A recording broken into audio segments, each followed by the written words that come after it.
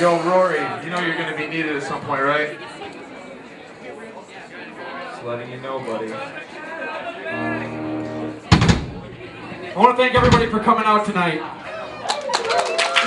Give yourselves a, a hearty round of applause. All the bands that played tonight, we're gonna rip off at some point during this set, I promise. Completely. So check this out.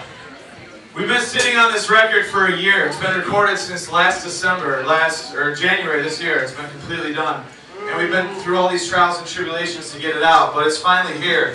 And uh, as we're standing here watching all these bands that we've been friends with for years, I realize I've never been the guest of honor at a party, and I'm pretty excited about that. So I'm gonna get real weird with it. Uh, I just want to do some sexy dancing. Yeah. Stage dive. And I just want to have fun with my friends because I think that I'm friends with like 60% of the people here. So thank you all for coming out. Filling this place down here. If Ted's singing your best part, steal the mic from him. He doesn't fucking need it.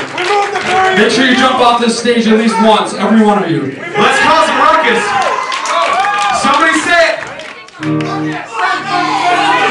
Here we go. This is the guy.